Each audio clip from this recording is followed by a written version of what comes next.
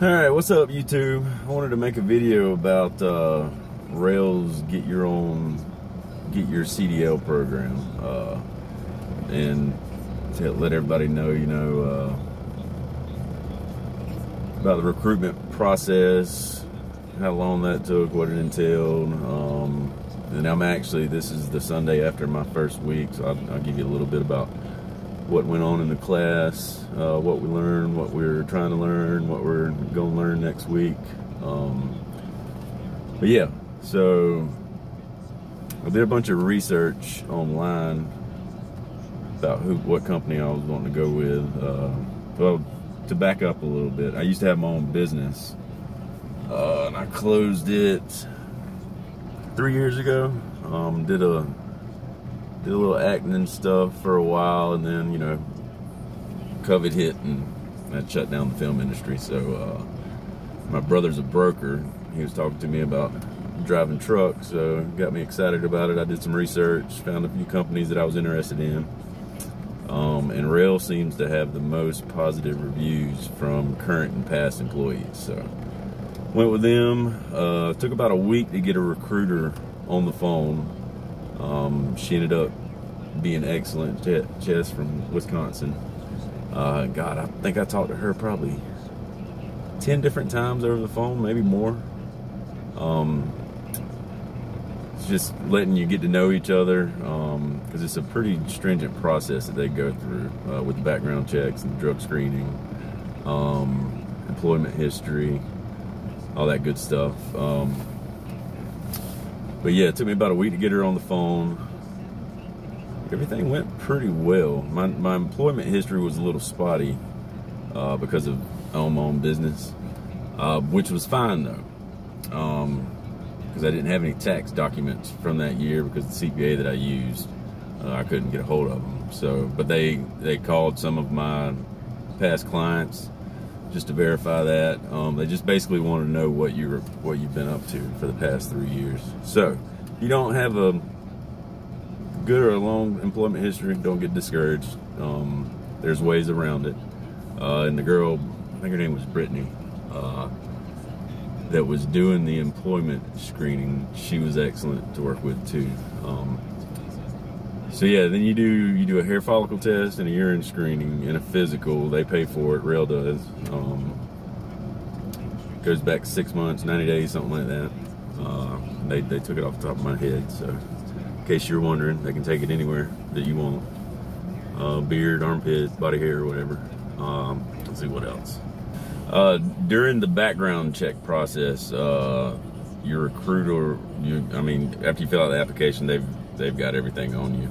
Um, but you'll you'll have several conversations with your recruiter about your your background, um, just to help everyone out. And they stress this during uh, during training.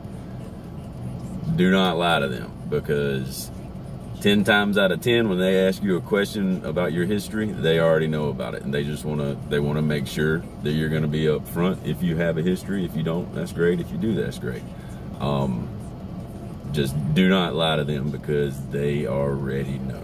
Uh, like I, I, had a DUI back in 2005.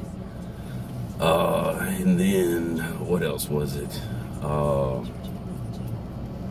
I had a following too closely ticket where I rear-ended somebody at a red light um, four years ago, and a texting while driving ticket um, four years ago also.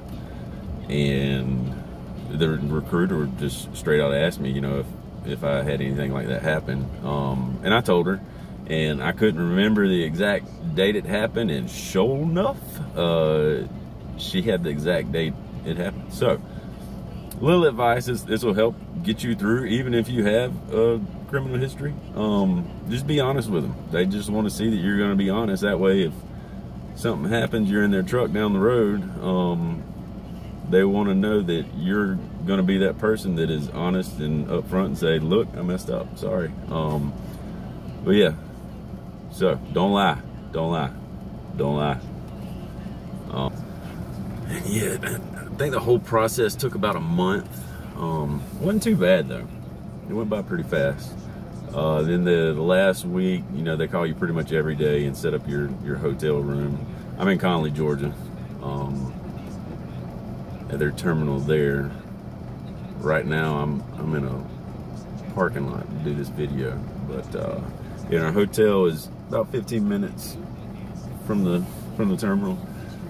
So got here last Sunday night, and then the first day of class, everybody meets at the hotel lobby at uh, 6:30, and a Roehl representative comes and picks you up and takes you to the terminal. Uh, you'll have a roommate. I say you'll have a roommate. There's a slight chance you won't have a roommate. Um, but if you do have a roommate, hopefully you'll luck out like I did, and your roommate will be cool. But yeah, you'll probably have a roommate. And then you're pretty much in the classroom all day Monday and Tuesday, doing paperwork, watching various videos about safety. Um, Sarah, very safe, safety oriented company, which is good because we're, we're driving basically huge spaceships driving down the road with tires on them. So, got to be safe. Um, third day, I think we watched another video, just how to, you know, avoid crashes and stuff like that. And we started we drove the Bobcat around, or bobtail around uh, Wednesday is what we did. That was our that was our first drive, which is just the tractor, by the way, no trailer. Drove it up 675, um, and some some surface streets and stuff just to get a feel for the for the unit. Then Thursday we started straight line backing. Um, that was pretty fun. Was it Thursday? No, yeah, Thursday we did straight line backing. and I want I want to say we drove around with the trailer hooked up too, um, which is pretty fun. And then Friday we did uh, offset backing. Um, there's some classroom work stuff too. Uh, a lot of lot of information about pre-trip and in-cab inspections was going over the entire week. Basically, practice that every single day of the week just to just to get it nailed in into your head. Um, and then at night, whenever you leave the terminal, there's uh, pretty much homework. About two hours of homework every night, maybe more. Um, but it's online modules. A lot of it has to do with stuff that we studied for on our CLP.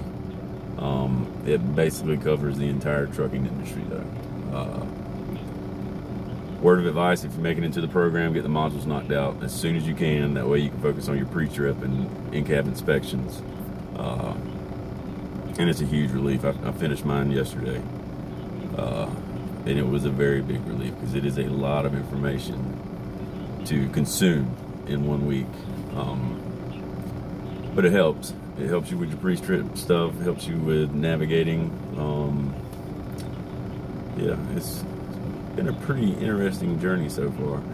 We've got three people in our in our class that started at the same time. There's a total of I think there's 12 people in the classroom actually, but it's set up in groups of three, um, and they're they've been there.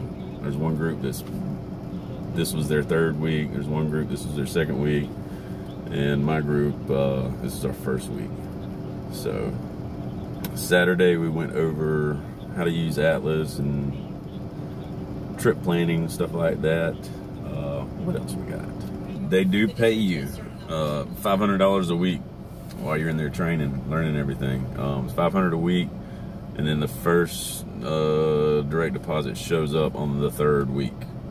Third week. Um, they pay for the hotel for the entirety of your stay. Um, they say that breakfast is provided by the hotel, but it's like a little grab and go bag with like a piece of fruit and a, I think a bottle of water and a granola bar or something. Um, that's what you want to eat, fine. We either, uh, I eat protein bars every morning for breakfast, uh, or we'll stop at a gas station or something on, the way to the terminal.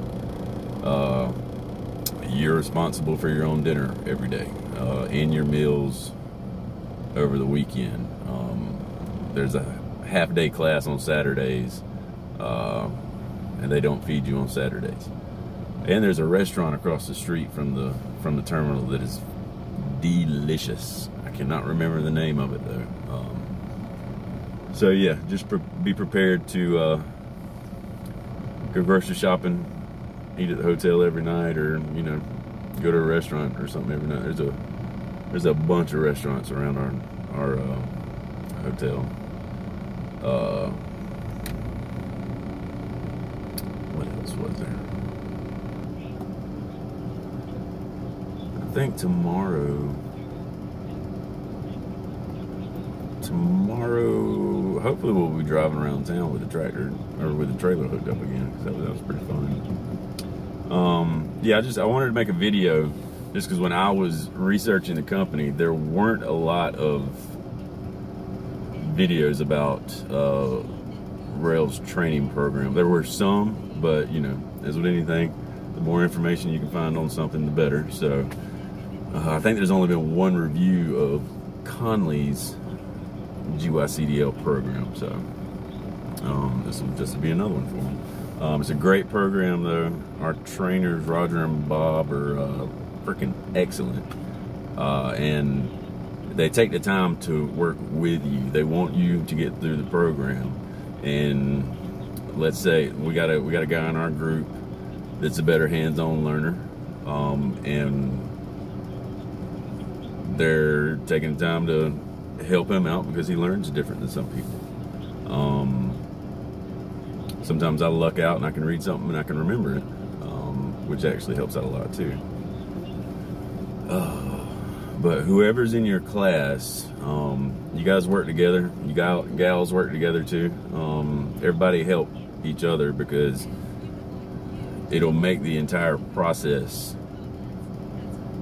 go by quicker, and it helps everybody else out to learn too. If you're if you're helping your teammate, because you're all the three of you and the trainers in a truck together pretty much the entire time whenever you're driving and learning how to back and stuff. Um, so if you see a, a, one of your classmates struggling with something, you know, help them out, and then vice versa. If you're struggling with something, they can help you out too. Um, it helps the the information to stick in your head, especially with the pre-trip and the in-cab inspections, because there's certain verbiage you have to use um, when you're taking your CDL test. So it's just a bunch of repetitions, repetitions, repetitions, repetitions. So um, yeah, that's pretty much it. I'm gonna I'm gonna make another video next week to review week two. Um, you guys have any questions or comments or anything, leave them leave them in the comment section below, and I'll I'll do my best to get back with you. We God, I get up at 4:30 every morning, and we leave the hotel at six to be at the terminal by 6:15 because classes start at 6:30 every morning. You usually out around five o'clock. So, um, yeah, stay tuned. Y'all be safe, especially in Louisiana right now with that hurricane coming. Um, yeah, and tune in next week, and I'll uh, see you guys then.